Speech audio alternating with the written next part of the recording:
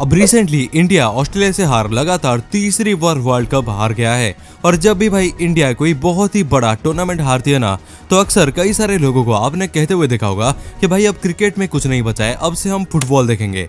Indian football team को support करेंगे। पर वो दिन भाई कभी भी नहीं आता है। आप खुद ही बताओ मेरे को, मनबीर सिंह, गुरप्रीत सिंह तो इन सारे लोगों को आप कितना ही जानते हो। टीम में से रैंडमली पाँच नाम पूछ लिया जाए तो शायद ही आप बता पाओ। पर क्रिकेट का पाँच क्या, पचास भी आप आराम से बता दोगे। अब देखो ऐसा क्यों होता है? सारे लाइमलाइट सिर्फ़ क्रिकेट ही क्यों ले जाता है? और बार बार इंडियन फुटबॉल टीम का जो कप्तान है, उनका तक कहने के बावजूद उनको कोई सपोर्ट क्यों नहीं करता है? अब देखो, बात भले ही कड़वी ज़रूर लग सकती है, जो कि आज मैं आपको बताऊँगा। और ऐसा भी हो सकता है कि मुझे बहुत सारे गालियाँ पड़ जाए तो ध्यान से सुनना सारे रीजंस को। और एक बार जो सब मैं बोलूँगा, उसको भाई एक बार ना शांत दिमाग में सोच के देखना। अब चलो यार दोस्तों, बिना किसी टाइम गवाए आज के वीडियो को स्टार्ट कर लेते हैं।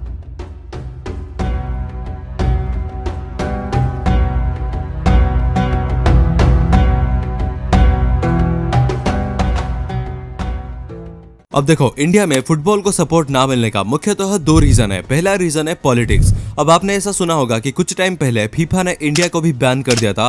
अब इसके पीछे भी वही सेम रीजन था। A I F F that is all India football federation तो उनके अंदर बहुत सारे लोग इंटरफेयर कर रहे थे जो डायरेक्टली गवर्नमेंट से जुड़े हुए थे।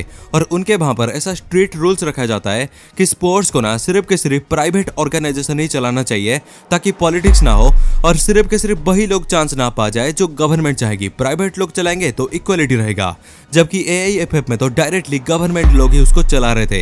हालाँकि 11 दिन के अंदर ही अंदर उसको फिक्स कर दिया गया और उन सबको सस्पेंड भी कर दिया गया। लेकिन पीछे की बात तो सिर्फ़ के सिर्फ़ उन्हें ही पता होगा। हालाँकि क्रिकेट में भी बीसीसीआई का जो सेक्रेटरी है, वो यार जय शाह है, जो कि सीधा का सीधा होम मिनिस्टर के ही बेटा है। लेकिन बीसीसीआई अब इतना ज़्यादा पावरफुल बन चुका है कि उनको यार उतना कुछ फ़र्क नहीं पड़ता।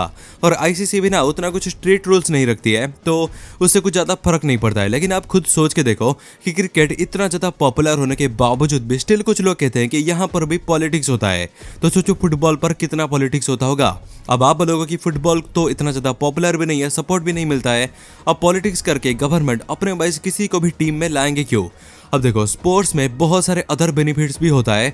एक बार आपने किसी भी एक स्पोर्ट के अंदर इंडिया को रिप्रेजेंट कर लिया तो आपको आसानी से गवर्नमेंट जॉब मिल जाती है। स्पोर्ट्स कोटा यूज़ करके आपको बैंक्स आर्मी कई सारे जगह पर आराम से जॉब मिल जाती है। तो बहुत सारे अदर बेनिफिट्स भी होता ही है वहाँ पर। तो होता क्या है कि कई बार एक अमीर आदमी काफ़ी पैसे खिला के अपने बेटे को किसी भी टीम के अंदर आड करवा देता है। भले ही उसका बेटा उस चीज़ का लायक भी ना हो बट उसे बेनिफिट्स तो मिल ही जाता है। पर इससे क्या होता है की टीम कहीं का होकर नहीं रहता है। आप खुद ही सोच के देखो, अगर ग्यारह में से दस ऐसे प्लेयर्स टीम के अंदर है, जिन्हें ढंग से ना खेलना आता है, ना ही वो लायक थे सही में। सिर्फ़ पैसा खिला के टीम के अंदर वो लोग आए हुए वो टीम यार, आप खुद ही सोच के देखो कि इंटरनेशनली वो टीम कैसा ही परफॉर्म करेगा। अब भले ही हम ऐसा भी नहीं कह सकते कि ए में ऐसा ही सब कुछ होता है हाई चांस है कि ऐसा नहीं होता होगा। बाकी पर हम ऐसा ज़रूर कह सकते हैं कि ए आई एफ़ बीसीसीआई की तरफ़ फुटबॉल को इतना कुछ प्रमोट नहीं करती है, उतना कुछ हाइप नहीं बनाया जाता है, इतना कुछ यार स्ट्रॉन्ग अरेंजमेंट्स नहीं करा जाता है, जैसा बीसीसीआई करती है। अब यार ये भी कहीं ना कहीं एक रीजन है फुटबॉल को इतना अटेंशन नहीं मिलने का। अब देखो पॉलिटिक्स सिर्फ़ एक रीजन ज़रूर हो सकता है। लेकिन यार, हम सब कुछ के लिए गवर्नमेंट को भी दोषी नहीं ठहरा सकते। क्योंकि जैसा गवर्नमेंट वाला आदमी ज़रूर है बट स्टिल बीसीसीआई दिन ब दिन पावरफुली होते जा रहा है। और इंडियन टीम के अंदर जो प्लेयर्स है, वो सारे के सारे जेनुइन प्लेयर्स है, अच्छे प्लेयर्स है। आपने इंडियन टीम को हारते हुए ज़रूर देखा होगा, पर आप यार इंडियन टीम के जो स्ट्रेंथ है, उसके ऊपर सवाल नहीं उठा सकते। आपको भी पता है कि इंडियन टीम एक स्ट्रॉन्ग टीम है, और सारे के सारे जो प्लेयर्स है, वो जेनुइन प्लेयर्स है। अब यार चलो मान के चले, अगर यही सच्ची बात है, पैसा के टीम के अंदर कोई भी नहीं आया है इंडियन फुटबॉल टीम में तो फिर क्या रीजन है? इंडिया फुटबॉल के मामले में इतना ज़्यादा पीछे होने का। अब यार इस रीजन के ऊपर आते हैं। तो इसके पीछे है reason number two which is simply they do not perform well अब हाँ ये बात सुन के हो सकता है कि आप मुझे बहुत ही ज़्यादा गालियाँ दो और बहुत ही ज़्यादा कड़वी भी सुनाई दे रही है ये बात, पर यही सच्चाई है। आप खुद ही सोच के देखो कि क्रिकेट इंडिया में पॉपुलर क्यों हुआ। बिकॉज़ क्रिकेट में जो प्लेयर्स है ना, वो धीरे धीरे धीरे धीरे करके अच्छे खेले।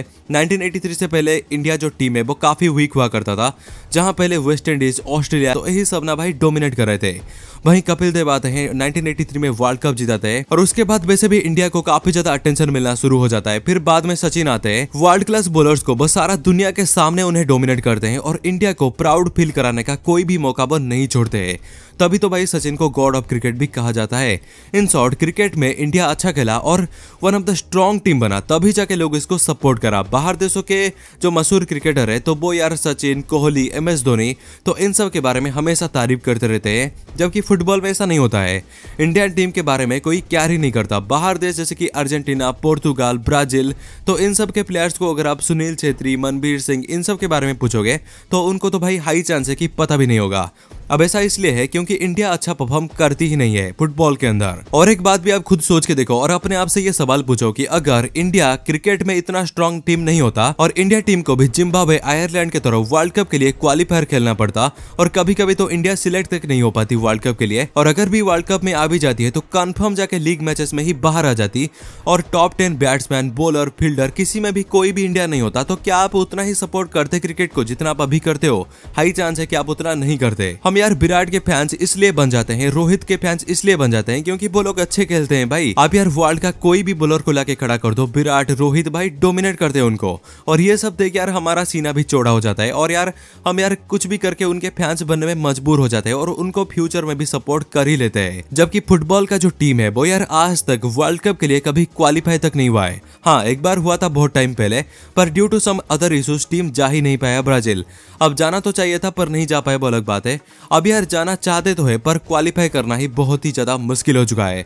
और जितना अभी जैसा वो खेला है टीम तो उसको देख करके लग रहा है कि अगले दस साल के लिए तो भाई क्वालिफाई करना बहुत ही ज़्यादा मुश्किल है। और आप ये भी सोच के देखो कि जरा क्रिकेट में भाई दस टीम्स होते हैं, सिर्फ़ की सिर्फ़ दस टीम्स होते हैं, और वहाँ पर भी इंडिया हमेशा क्वालिफाइड रहता है। और वही फुटबॉल में देखो यार thirty plus countries football world cup खेलते हैं, और अभी तो फोर्टी हो चुके हैं। उसके बावजूद भी भाई इंडिया क्वालिफाई तक कर नहीं पा रही है। और अगर ऐसा ही परफॉर्मेंस रहा तो आप खुद ही सोच के देखो, क्यों कोई भाई क्यों ही सपोर्ट करेगा उसको? क्योंकि भाई, मैं मानता हूँ कि सपोर्ट करने से पैसे ज़रूर आ जाते हैं। उनको यार अच्छे डील्स ज़रूर मिल जाते हैं अटेंशन ज़रूर मिल जाता है और कहीं ना कहीं उनको थोड़ा बहुत मोटिवेशन भी मिल जाता है। लेकिन भाई परफॉर्मेंस तो आपको खुद ही करना होता है। सीधी बात है भाई टीम अच्छा खेलेगा तो लोग यार टीम को सपोर्ट करेंगे। और आज टीम अच्छा खेल रहा है तो उनका जो प्लेयर्स है, वो भी अच्छे खेले होंगे तो उनका भी रिकॉर्ड्स बनते जाते हैं और तभी उनके भी फैंस बनते जाते हैं। और जितना बढ़िया वो प्लेयर्स खेलता है, उसी वाइज फैंस भी धीरे धीरे बढ़ते रहते हैं। और भाई फुटबॉल में भी सेम ही चीज़ लागू होता है। आज अभी भाई टीम ही खराब खेलती है तो हमेशा इसलिए कोई उसको सपोर्ट ही नहीं दिखाता। और जो भी लोग थोड़ा बहुत सपोर्ट दिखाते भी है तो वो भी यार नाराज़ होकर घर ही आते हैं हमेशा। और ऐसा नहीं है कि इंडिया के अंदर लोग यार फुटबॉल को सपोर्ट करना चाहते नहीं है। लोग भाई रोनाल्डो, मेसी के भाई फ़ैन बने पड़े हुए हैं, पर वही लोग यार सुनील छेत्री, मनबीर सिंह, उनके बारे में पता भी लगाने की कोशिश नहीं करते। अब ऐसा इसलिए होता है क्योंकि यार वो लोग अच्छा परफॉर्म कर ही नहीं पाते। और यार जो भी लोग अच्छा परफॉर्म करते हैं, उनको आप जानते होंगे। जैसे कि मैंने सुनील छेत्री की बात करा तो इंडिविजुअली टीम भले ही खराब खेली हो, पर इंडिविजुअली सुनील छेत्री भाई वर्ल्ड के top five highest goal scorer में आते हैं। आपको पता है ये बात? और भाई, बहुत लोगों को पता होगा ये बात। और तभी यार लोग सुनील छेत्री के बारे में ही ज़्यादा जानते हैं। मतलब कि पूरा ग्यारह प्लेयर में से सुनील छेत्री ही सबसे ज़्यादा पॉपुलर है फुटबॉल में इंडिया के अंदर बात कर रहा हूँ मैं। तो वो यार थोड़ा बहुत पॉपुलर बन चुके हैं। हाँ हालाँकि विराट कोहली की तरह नहीं बने, पर फिर भी थोड़ा बहुत तो बने ही हुए। और उनको काफ़ी सारे एडवर्टाइजमेंट्स वगैरह भी मिलते जाते हैं। अब इसका सिर्फ़ एक ही रीजन भाई हुआ ना कि सुनील अच्छा खेलते हैं, तभी उनको बार बार भाई सपोर्ट करते हैं लोग।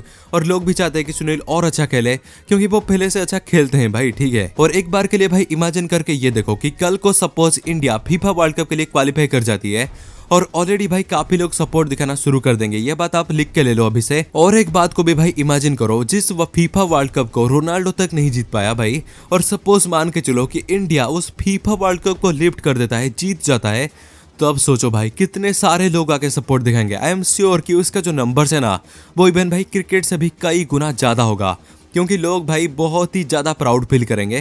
क्योंकि जिस वर्ल्ड कप को भाई मेसी जीतने में इतना ज़्यादा पसीने छूट गए, उसको रोनाल्डो आज तक जीत नहीं पाया।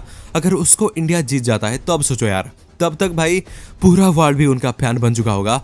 और बहुत ही सारे नंबर्स में उनको सपोर्ट भी मिलेगा। तो कहीं ना कहीं ये भी एक रीजन हो सकता है। कड़ भी ज़रूर है, पर रियलिटी है भाई। आपको ये बात भाई भाई जानना ही पड़ेगा। और आई होप गाइस यार आपको समझ में आ चुका होगा कि क्यों इंडिया में फुटबॉल को इतना ज़्यादा सपोर्ट नहीं किया जाता है। और यार कुछ बातें कड़ भी ज़रूर लगी होगी, जिसके लिए I am really really sorry बाकी अगर मैंने कुछ भी गलत बोला हुआ तो उसके लिए भी आई एम रियली सॉरी और आप मुझे कॉमेंट में करेक्ट भी कर सकते हो। और काफ़ी सारे पर्सनल ओपिनियन भी मैंने मिक्स करा है वीडियो के अंदर तो उसके लिए भी अगर आपको बुरा लगा है तो I am really really really sorry और आप मुझे यार बिंदास कमेंट में बता सकते हो कि क्या गलत बोला मैंने और क्या आप इसे एग्री करते हो, नहीं करते हो, सब कुछ आप कमेंट करके बता सकते हो। बाकी यार वीडियो को यहीं पर खत्म करते हैं। मिलते हैं भाई अगले वाले किसी बड़े वाले वीडियो के अंदर। तब तक के लिए आप सब अपना ख्याल रखिए। Good bye